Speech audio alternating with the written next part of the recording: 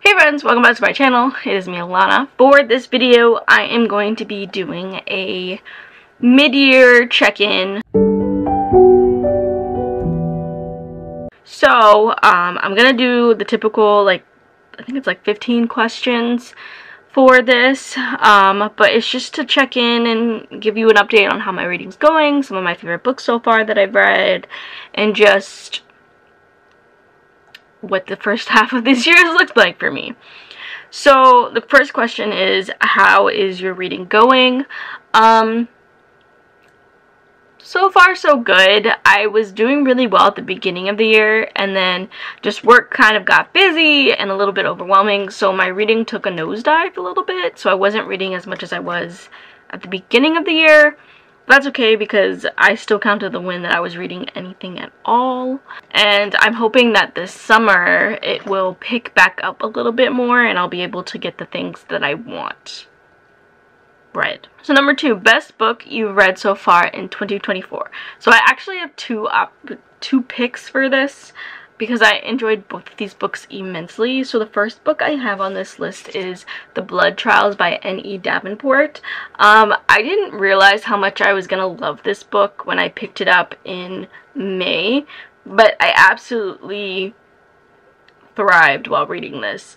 Um, it follows a girl who lives in this like militaristic society. Her grandfather was like the prime or like the the big leader of the of the society and he dies before this book starts. And so when we start the book, she's just honestly consumed by her grief. She doesn't really care anymore about like her purpose and her path and her life.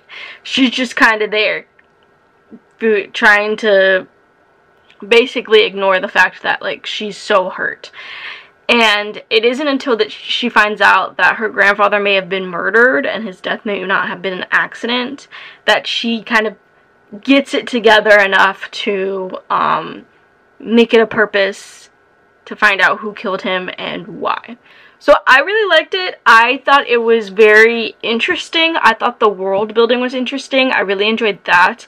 I thought the magical elements of the world was also really neat. And I just really enjoyed the way the author wrote the story and the characters. And I love that our main character, like, was just brutal. but, like, she never really let anyone do the work for her like she was willing to always like fight and do the work herself and so I enjoyed that and she was honestly just a really strong character overall even when dealing with her grief. And so I just loved this story so much and I'm really really sad that this ended up being like a duology because I really think if the publisher had let her the author could have done so much and even made this like a trilogy or beyond. And the second book I have for this prompt is The Wishing Game by Meg Shaffer. So this is complete opposite of uh, the blood trials. And this is a more um, contemporary fiction. And it is about a woman who is a teacher's aide. And she has had she had like a very difficult childhood where she just was ignored by her family entirely because her sister was very sickly. And so there's a little boy who is in the foster care system that she has like basically fallen in love with as like her son and she wants to adopt him but she unfortunately does not have the financial security to be able to adopt him. And so one of her favorite childhood authors creates this competition and invites her to play along and whoever wins gets the next manuscript to his like newest book in the series he's been writing all these years. And so with that, she knows that if she were to win and get the manuscript, she'd be able to make tons of money and be able to adopt this boy. So I thought this was such a sweet and cute story. I really enjoyed the fact that it felt like everybody in the story healed a bit from whatever traumas were haunting them from the past. Even the author himself had some trauma that he was dealing with and the competition and just like seeing these children again, or like children as adults again, uh, kind of healed a part of himself I guess he didn't realize he needed healing for. And then I just enjoyed the fact that it really explored how much the things in your childhood can affect you later on in life. Childhood drama does play such a big role in how you go further in life and how you present yourself and so I really loved that exploration as well. And I just again I just I, it was so sweet. I felt like my inner child was healing a little bit while reading this too because I don't know, it just fulfilled something in me I didn't know needed to be fulfilled and so I feel like it could have the same effect on other people who read it. But I'm definitely going to check out anything else Meg Shaffer writes. I think this was her first book.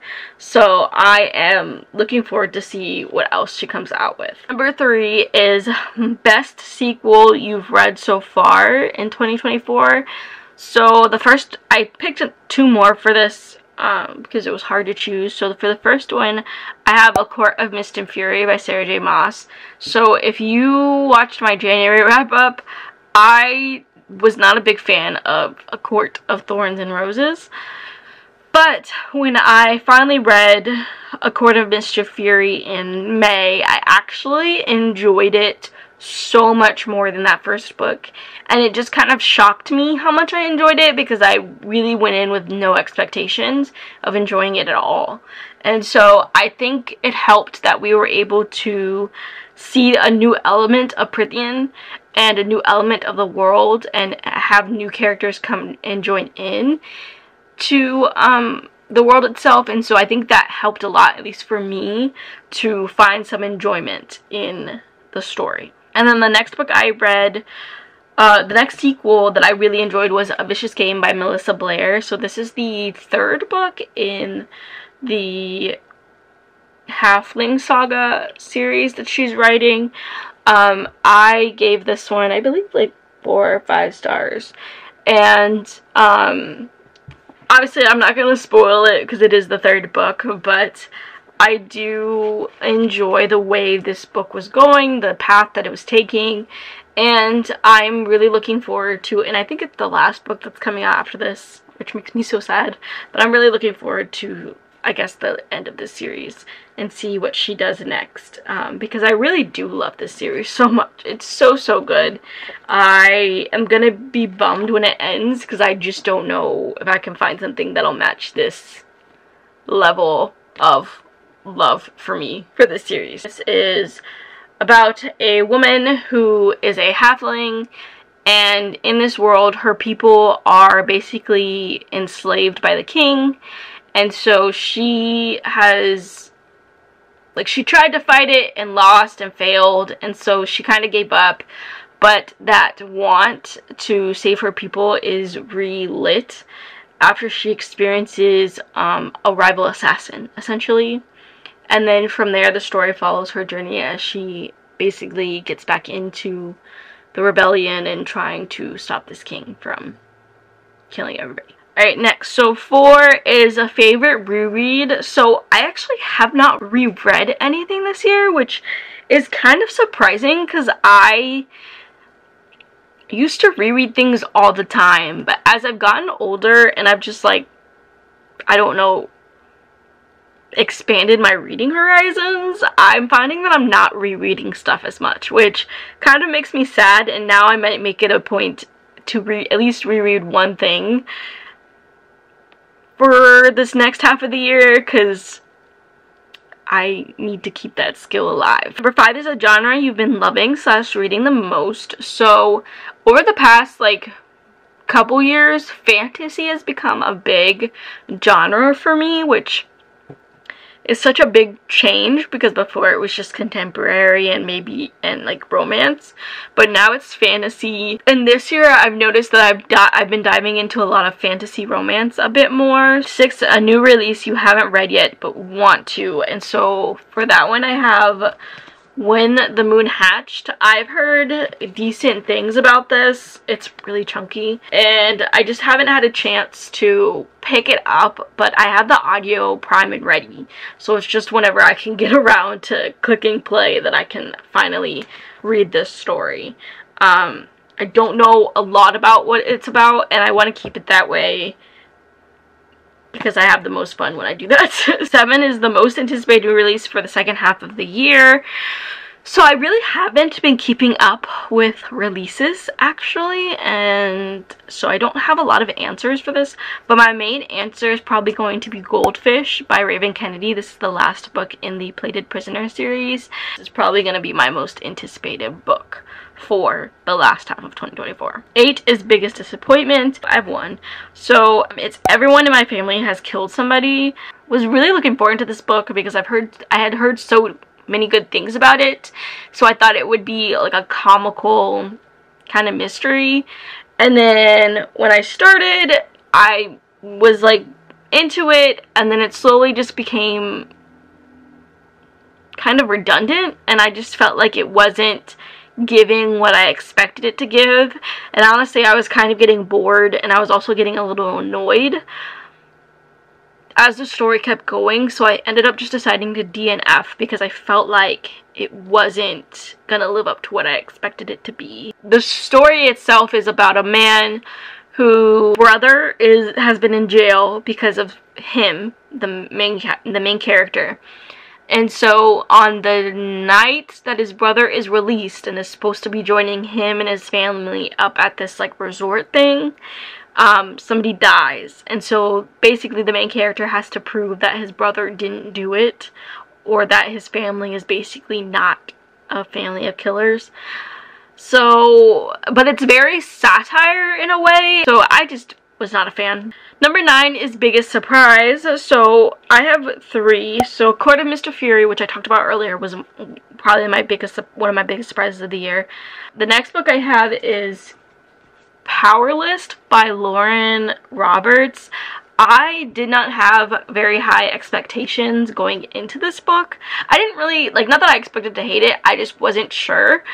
And I came out by the end actually really loving the story and it just really surprised me because I don't know I just haven't it's been a hit or a miss with when it comes to fantasy romance sometimes for me so I was just very shocked by how much I actually enjoyed it and how much I'm looking forward to the sequel so that's fun. The last book I have this on this list is And Then There Were None by Agatha Christie. I was actually really surprised by that book and how much I loved it because I had read Murder on the Orient Express and I enjoyed it. And then I read the ABC Murders and I was very bored by that one. So when I picked up And Then There Were None, I was kind of skeptical because I had so far I had enjoyed one of her books and I hadn't hadn't enjoyed another one. And then um, as I got through the story, I realized how hooked I was into the storyline and figuring out who the killer was. And then I was even shocked by who the killer was by the end. So I give her props for that. 10 is favorite new author. For that one, I'm going to do N.E. Dav N.E. Davenport, which is the author of The Blood Trials. Because I feel like if she does another fantasy, I'd be willing to read it based on how much I loved the Blood Trials and even the sequel book. 11 is newest favorite character. I don't really have one. I don't think, I don't really obsess over characters like that. 12, a book that made you cry. I don't think I've cried at all while reading this year. If I have, it might have been during the wishing game, but otherwise I really can't name any instance. Number 13, a book that made you happy. I have a lot. Probably most of the books I've read so far that I've enjoyed this year. So, Funny Story by Emily Henry is definitely one that made me happy. Blood Trials, Court of Mist and Fury, The Blood Gift. 14 is the most beautiful book you've bought so far. So I haven't really bought a lot of books because I've been making a, it a point to just like chill on that and but I still get the Fairy Loot boxes and so I have the Fairy Loot edition of uh, Fate Inked in Blood by Danielle L. Jensen and I think this is probably the most beautiful book I've gotten so far this year. Like this is without the cover and then this is with the cover. And I just really like the sprayed edges and everything. So I think this is probably gonna be gonna be my pick for for this video. And even just the inside like in inside the book is like really beautiful so. And then 15 is what books do you need to read by the end of the year?